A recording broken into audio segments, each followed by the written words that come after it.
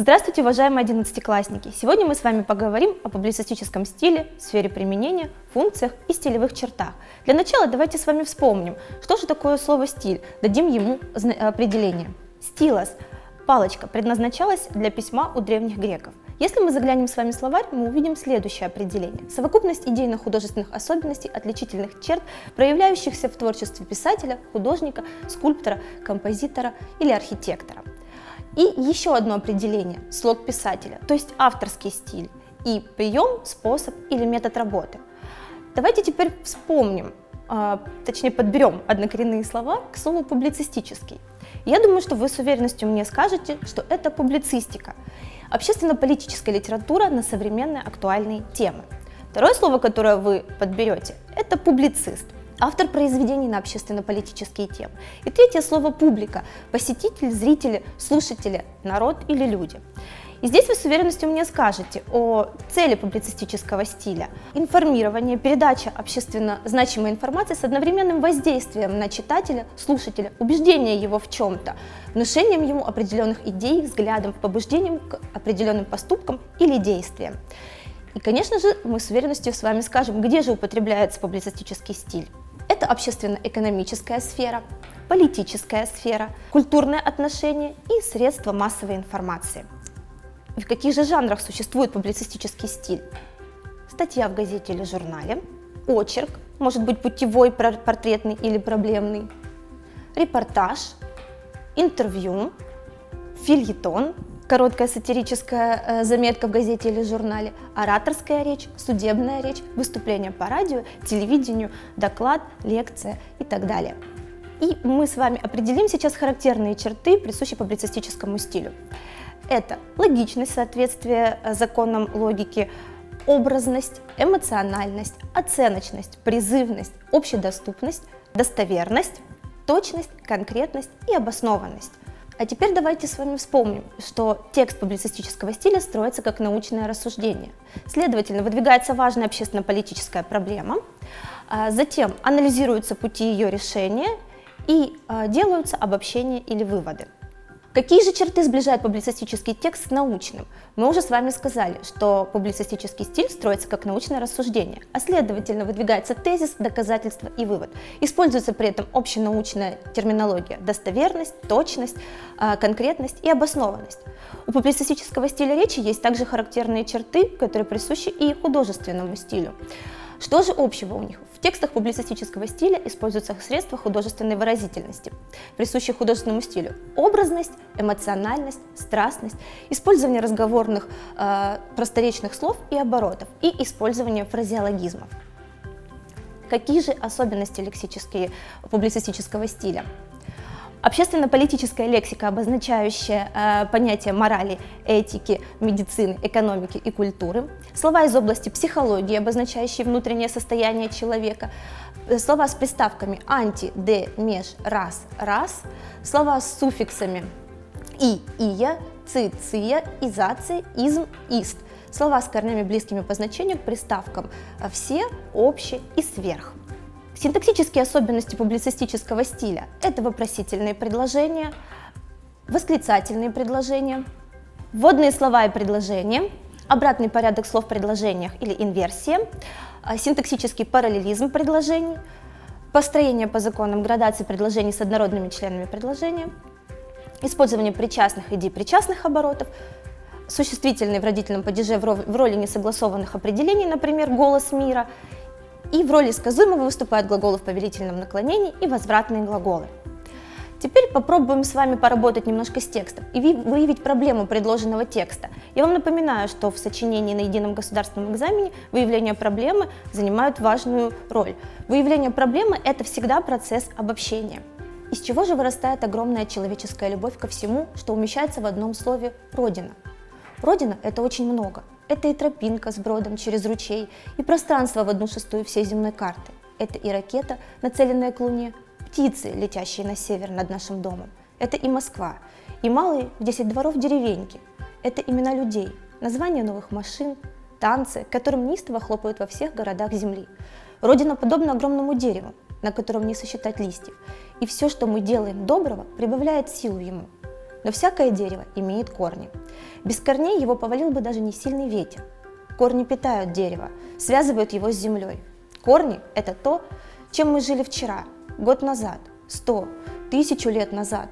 Это наша история, это наши деды и пращуры. Это их дела, молчаливо живущие рядом с нами, в степных каменных бабах, в резных наличниках, в деревянных игрушках и диковинных храмах, удивительных песнях и сказках. Это славные имена полководцев, поэтов и борцов за народное дело. Человеку надо знать свои корни, тогда и воздух, которым он дышит, будет целебен и вкусен, и земля, на которой стоят его ноги, будет дороже, и все, что будет выходить из рук его, будет овеяно мастерством его предшественников, красотой, наполненной веках. Давайте же будем помнить об этих корнях. Предлагаю вам проанализировать прочитанный нами текст. Давайте с вами подумаем, о чем же этот текст, какова его цель, какова цель автора данного текста. Я думаю, что вы с уверенностью мне скажете, что автор публицистического текста стремится воздействовать на читателя, ярко и образно выразить свою мысль по поводу того или иного события. Если мы с вами подумаем, зададим себе вопрос, каков же стиль этого текста, я думаю, что вы с уверенностью мне скажете, что это публицистический стиль. И скажете вы мне это потому, что э, в этом тексте вы заметили, конечно же, э, много причастий и депричастных оборотов. Если мы зададим себе вопрос, о чем же этот текст, то вы с уверенностью мне скажете, что этот текст о родине. Что же вмещает в себя понятие родина? Это то, о чем мы должны помнить. Это наши корни. А теперь попробуем с вами выявить проблему данного текста.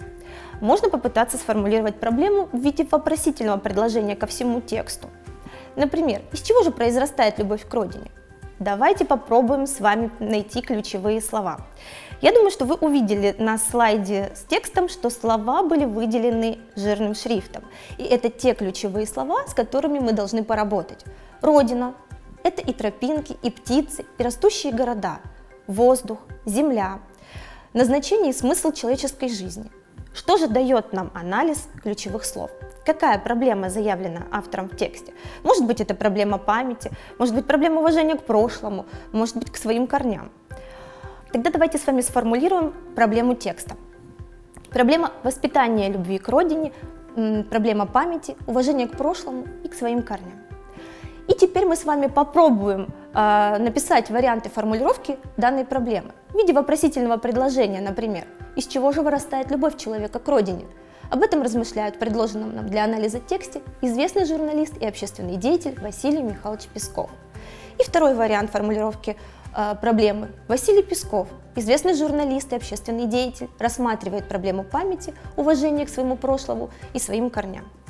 Если мы с вами задумаемся над вопросом, какой же тип этой проблемы, я думаю, что вы с уверенностью мне скажете, что эта проблема нравственная. Тогда давайте с вами попробуем сформулировать комментарий к данной проблеме. Эта нравственная проблема звучит актуально и сегодня. Я вам предлагаю запомнить, что в тексте публицистического стиля всегда есть предложения, которые несут особую смысловую нагрузку и помогут вам выявить проблему текста. А теперь перейдем с вами к домашнему заданию. Я предлагаю вам повторить теоретический материал учебника на странице 126-127 по теме публицистический стиль и выполнить упражнение 179 на странице 131. Я желаю вам удачи на экзамене. До свидания. Спасибо за урок.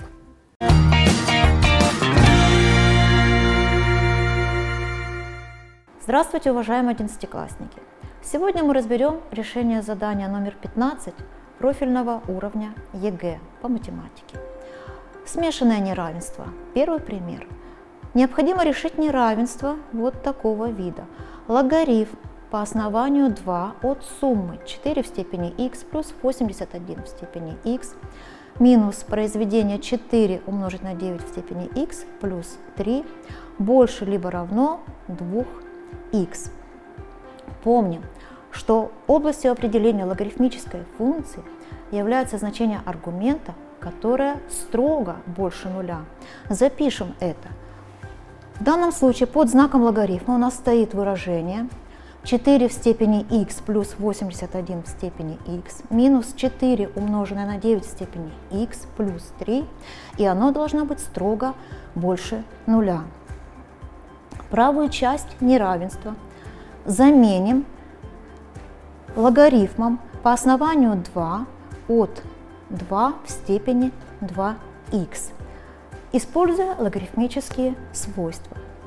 Первое неравенство перепишем без изменений, а во втором неравенстве мы выполним потенцирование, но при этом помним, что основание логарифма 2 – это число больше единицы, наша функция возрастает, поэтому знак неравенства не меняется, и мы получим 4 в степени х плюс 80, 81 в степени х минус 4 умноженное на 9 в степени х плюс 3 больше либо равно двойке в степени 2х. Помним, что показательная функция принимает только положительные значения, то есть 2 в степени 2х строго больше нуля. Обратите внимание, первое неравенство строго больше нуля.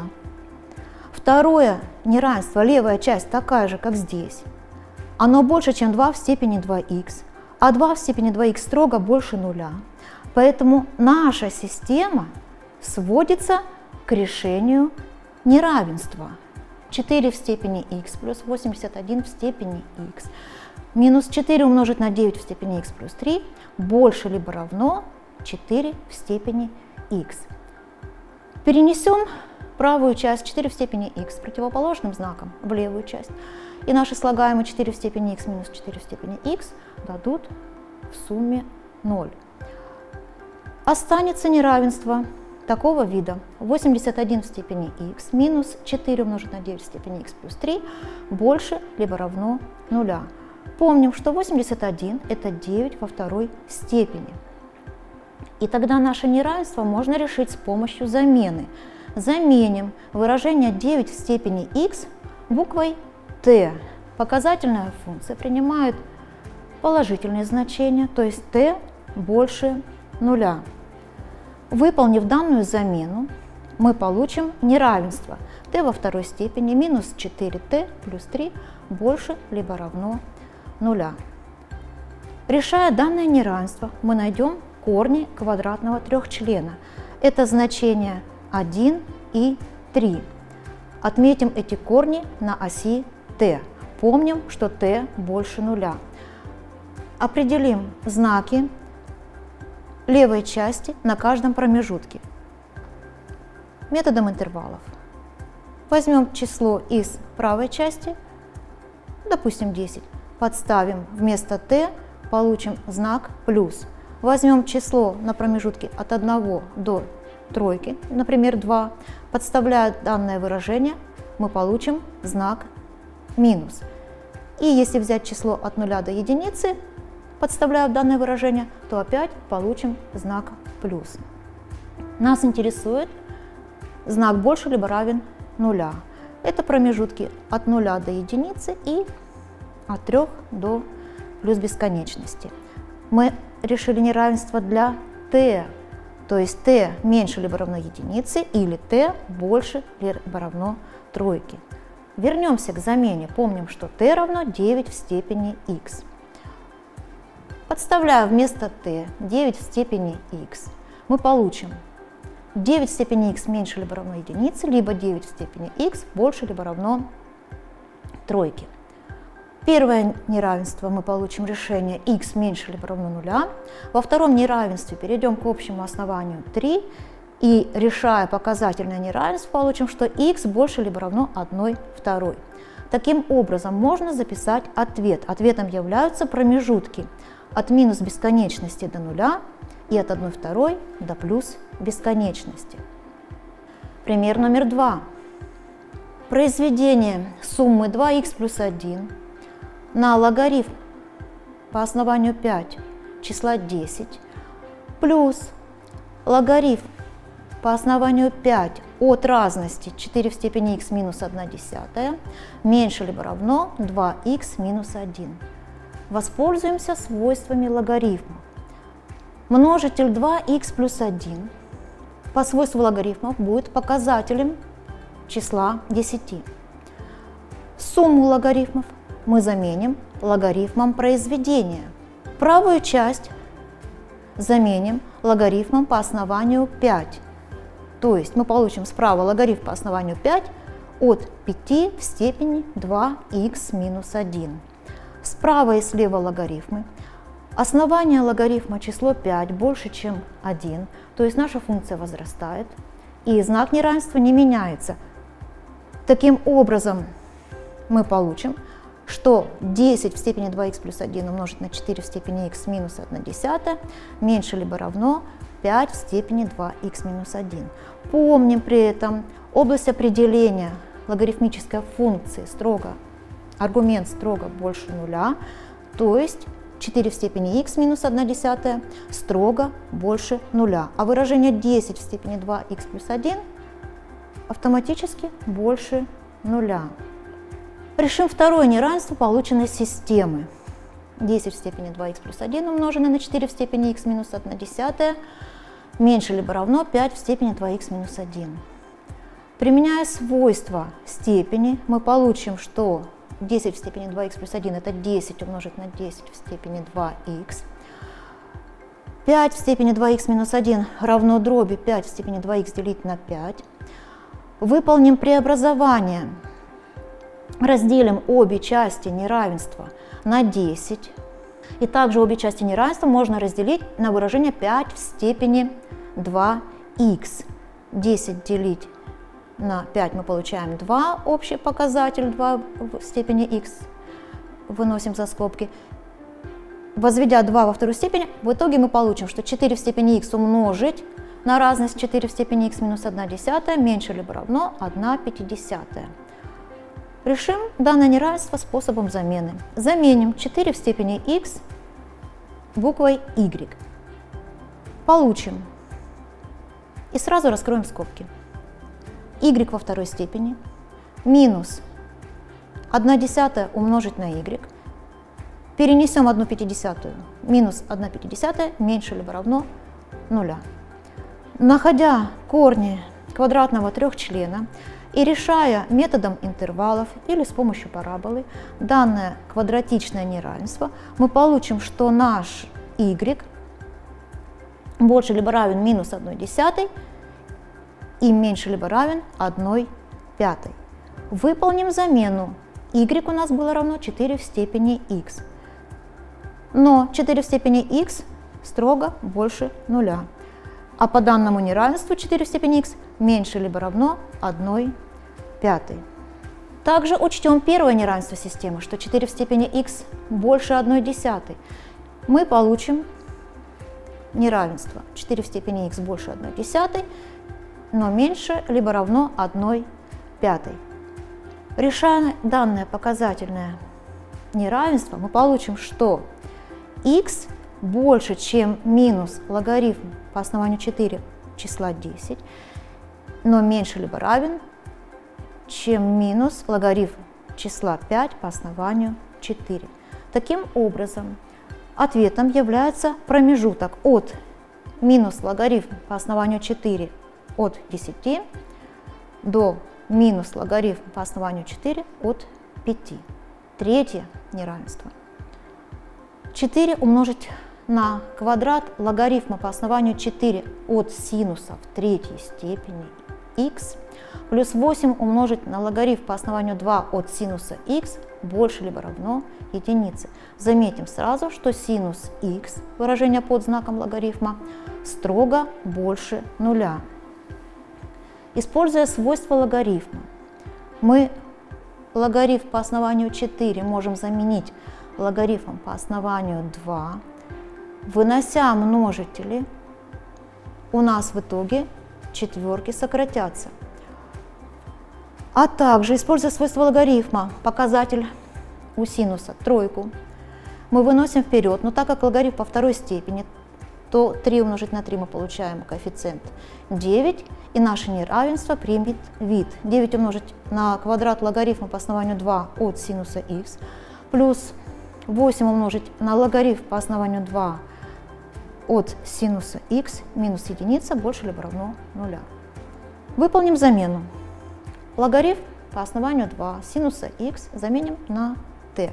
Тогда мы получим красивое квадратное неравенство. 9t квадрат плюс 8t минус 1 больше либо равно нуля. Найдем корни квадратного трехчлена и решив данное неравенство или методом интервалов, или с помощью параболы, мы получим, что t меньше либо равно минус единице или t больше либо равно 1 девятой. Выполнив обратную замену, мы получим, что синус x больше нуля и меньше либо равен 0,5. Или синус x больше либо равно корень девятой степени из двойки. Но корень девятой степени из двойки больше единицы, а синус не может быть больше единицы, поэтому второе неравенство решений не имеет.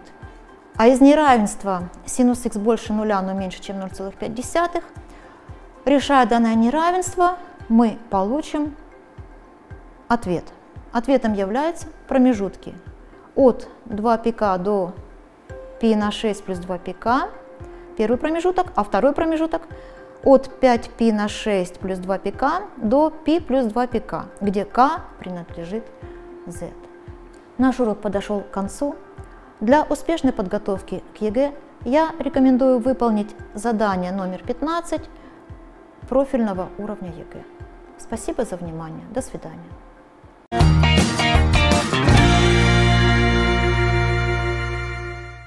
Здравствуйте, уважаемые одиннадцатиклассники! Мы продолжаем с вами изучать обществознание. Тема нашего урока – правовое регулирование общественных отношений. Эту тему вы изучали в 10 классе, поэтому цель нашего сегодняшнего урока будет повторить ранее изученные знания по этой теме. План урока – право в системе социальных норм. Мы далее рассмотрим с вами источники права, правоотношения, правонарушения и каковы же предпосылки правомерного поведения. Право – это система норм, которые устанавливает только государство. Система права обусловлена системой общественных отношений, внутреннее строение права, включающее взаимосвязанные между собой части, нормы, отрасли, институты. Норма права – это общеобязательное, формально определенное правило поведения, установленное и обеспеченное государством, закрепленное и опубликовано в официальных актах, направлено на регулирование общественных прав и обязанностей участников общественных отношений. Отрасли права – это совокупность взаимосвязанных юридических норм, регулирующих определенную сферу однородных общественных отношений. Это может быть гражданское общество, семейное право, трудовое право. Вся система права подразделяется на отрасли – материальные и процессуальные.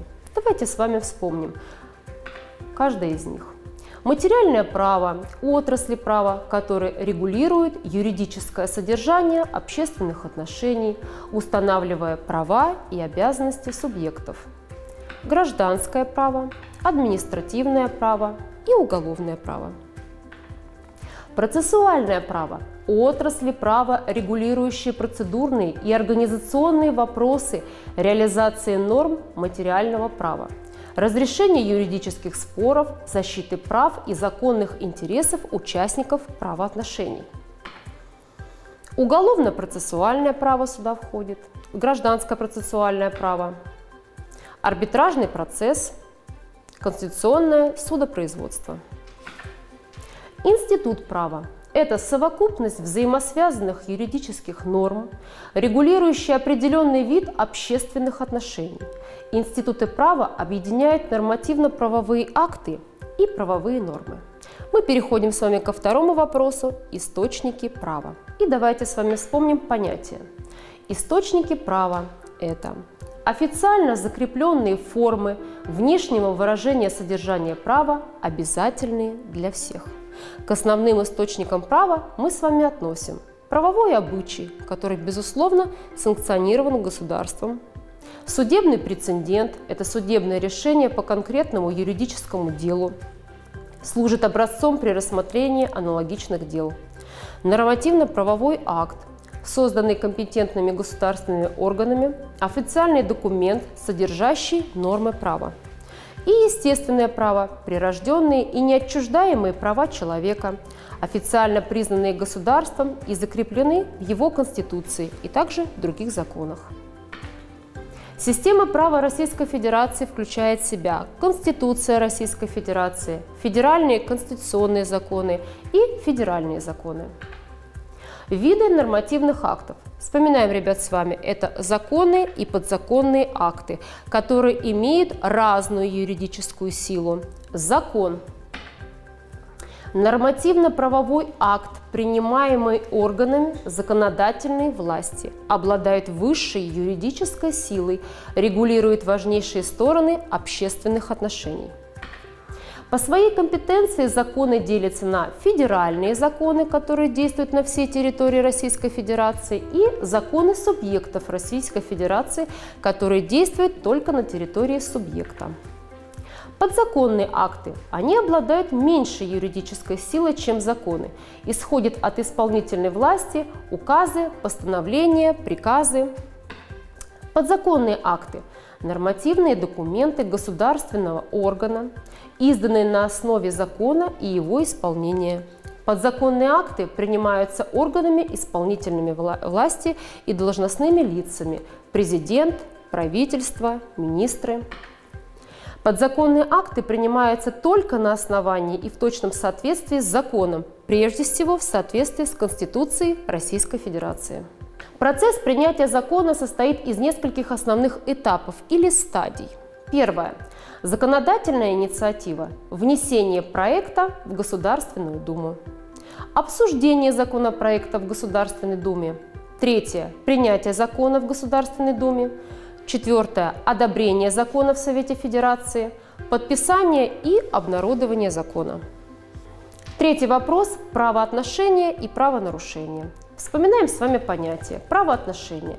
Это охраняемое государством и урегулированное нормами права общественное отношение, участники которого имеют взаимные юридические права и обязанности. Основные признаки правоотношения – Общественные отношения, которое всегда предполагает наличие двух сторон, возникает только на основе норм права, предполагает наличие у сторон взаимных прав и обязанностей и в обязательном порядке охраняется государством.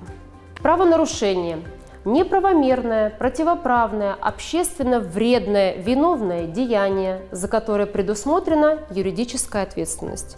Юридическая ответственность – это применение мер государственного принуждения к виновному лицу за совершенное правонарушение.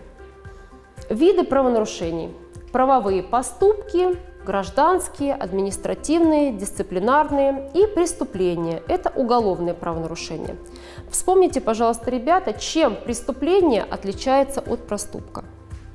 Признаки юридической ответственности. Возлагается только за правонарушение. Возлагается только от имени государства. Предполагает применение мер государственного принуждения. Судебная система защиты прав человека. Судебная защита – это закрепленная в Конституции Российской Федерации статья 46 «Право каждого гражданина на защиту от посягательств на честь и достоинство, жизнь и здоровье, личную свободу и имущество. Судебная защита прав гражданина осуществляется судом. Система судов в нашей стране имеет три ветви. Вспоминаем. Конституционные суды Конституционный суд Российской Федерации и конституционные суды субъектов Российской Федерации. Далее, суды общей компетенции. Верховный суд Российской Федерации, суды субъектов Российской Федерации и районные, городские и мировые суды. И арбитражные суды. Высший арбитражный суд Российской Федерации, федеральные арбитражные суды и арбитражные суды субъектов Российской Федерации. Четвертый наш вопрос – предпосылки правомерного поведения. Правовое сознание или правосознание – это отношение людей к праву, действующему законодательству и юридической практике. Правосознание – совокупность идей, представлений, чувств, выражающих отношение людей к действующему или желаемому праву. Включает в себя знание права, правовая идеология, правовая психология и правовые установки. Давайте коротко рассмотрим каждый из них. Знание права. Безусловно, знание норм Конституции Российской Федерации, знание содержания наиболее важных федеральных законов, понимание сущности правовых учений и доктрин, ориентирование в иерархии нормативно-правовых актов, наблюдение посредством средств массовой информации за деятельностью законодательных органов. Включает в себя жизненный опыт, место работы, уровень образования, наличие юридической подготовки и интересы. Правовая идеология, отношение к правовым знаниям, их оценка с точки зрения определенной системы ценностей делится на общие общечеловеческие личные ценности и ценности публичного характера. К общечеловеческим личным ценностям мы относим жизнь, честь, достоинство, свобода личности. К ценностям публичного характера – демократия, законность, правопорядок и политический плюрализм. Формирование основополагающих идей, принципов правосознания, которые должны стать и становятся принципами права в результате правотворчества. Правовая психология – это чувства, эмоции, в которых выражается отношение к праву и закону, включает в себя оценку права и правовые идеи. Правосознание по уровню знаний, обыденное правосознание – это уровень правосознания обычного человека, который не обладает какими-либо особыми познаниями в праве. Профессиональное правосознание юристов, которые обладают глубокими знаниями в юриспруденции. И научное, характерно для ученых-юристов, которые на глубоком теоретическом уровне анализируют право. Правосознание по числу индивидуальное формируется конкретно у определенного индивида. Групповое формируется в определенной группе людей. И общественное. Его формирование заключается в определенном обществе. Право и правосознание взаимосвязаны. Правосознание влияет на правотворчество, а правотворчество влияет на содержание норм. Правосознание учитывается в ходе правоприменения. Уровень правосознания общества способствует соблюдению и исполнению права. Право формирует правосознание каждого, способствуя внедрению в сознание правовых идей. Правовая культура – особое социальное явление, качественно характеризующее правовое состояние как отдельной личности, так и общества в целом. Разделяем на правовую культуру личности и правовая культура общества.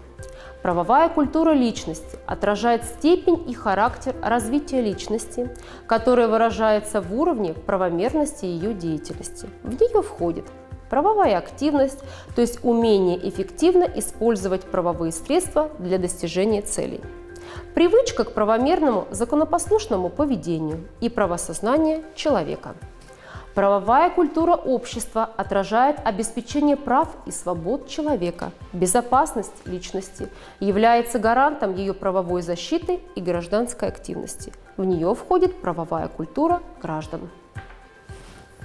Функции правовой культуры познавательное, теоретические осознание и обоснование необходимых мероприятий по формированию правового государства, организация их проведения. Коммуникативное регулирование общения граждан в правовой сфере. Нормативно-ценностное, оценочное отношение личности к цели и результатам правовой деятельности, изучение этого отношения. Прогностическое – анализ тенденций, характерных для правовой системы общества, и регулятивное – обеспечение устойчивого, слаженного и эффективного функционирования всех элементов правовой системы и общества в целом. Черты современной правовой культуры – определяющее значение прав и свобод человека и гражданина в правовой организации общества, утверждение в массовом правосознании чувства уважения к закону и правопорядку – правовая активность граждан в осуществлении своих прав. Активная законотворческая, правозащитная и правоприменительная деятельность всех звеньев государства. Один из вид правонарушений – это правовой нигилизм. Давайте вспомним с вами, что такое понятие правовой нигилизм. Полное отрицание всего общепризнанного идеалов, авторитетов, ценностей. Его цель – недооценка или отрицательная оценка роли права, неуважение к праву, пренебрежение даже к праву делится на личностную и государственную. Чтобы предотвратить правовой нигилизм, необходимо правовое воспитание, которое подразделяется на правовое просвещение – это распространение идей и правовых требований среди населения, телевидением, радио, создание компьютерной баз данных – Юридическая практика – передача юридической информации, знаний посредством участия граждан в правоприменительной деятельности. И самовоспитание – это личный опыт, самообразование, собственный анализ правовых явлений. Правомерное поведение – это поведение, соответствующее правовым нормам, не нарушающее их.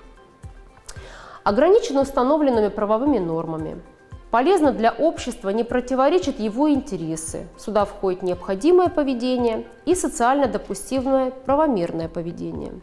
Осуществляется на добровольном и осознанном основании. Дееспособные лица и недееспособные невменяемые. К дееспособным лицам мы относим лица, которые достигшие 18-летия. Или частичная дееспособность, которая начинается с 14-летнего возраста до 18-летнего возраста и распространено среди большинства населения. Виды правомерного поведения. Социально активное – это высшая форма правомерного поведения, соответствующая высокому уровню правосознания и правовой культуры, ответственности и добровольности. Конформистское поведение – подчинение правовым предписаниям без их глубокого и всестороннего осознания, без высокой правовой активности – и маргинальное правомерное поведение, соответствует правовым предписаниям, но находится под воздействием государственного принуждения, продиктованного страхом перед наказанием. Домашнее задание. Я предлагаю вам выбрать э, из предложенных ниже высказываний и на его основе написать мини-сочинение. Закон обнаруживает свое благотворное действие лишь тем, кто ему повинуется – Любое злодеяние имеет собственную мораль, которая его оправдывает. Права влекут за собой обязанности. Когда закон дает право, он также дает и средства его защиты. Не быть подчиненной никакому закону значит быть лишенной самой спасительной защиты, ибо законы должны нас защищать не только от других, но и себя самих. Спасибо за внимание. Я желаю вам удачи. До новых встреч!